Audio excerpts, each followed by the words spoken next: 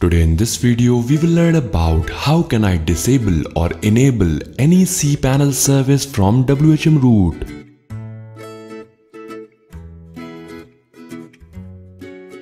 For that log into WHM root and then go to service configuration. Now here go to service manager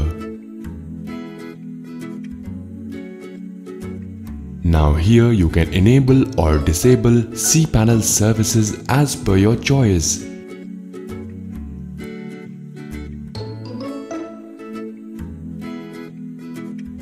Once you have enabled or disabled by ticking or unticking the changes, click on save.